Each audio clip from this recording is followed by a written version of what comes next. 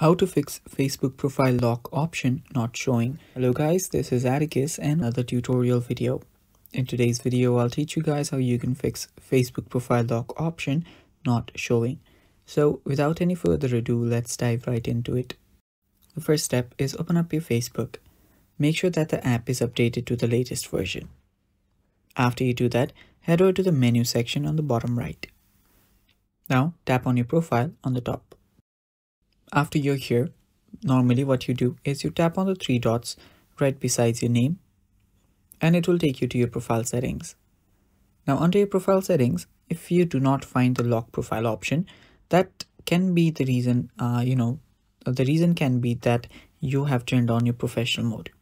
If you turn on your professional mode, you will not have your lock profile option since you cannot lock a profile if your profile is on a professional mode.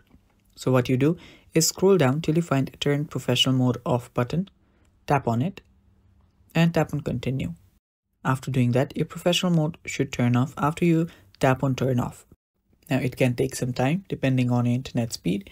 Now you can head back.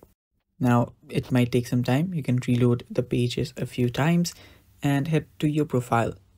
After doing that, you can tap on the three dots again. And after you do that, you will see the lock profile option again available. Now you can lock your profile and that's basically all for today's video. Thanks for watching guys. Stay tuned for more and bye bye.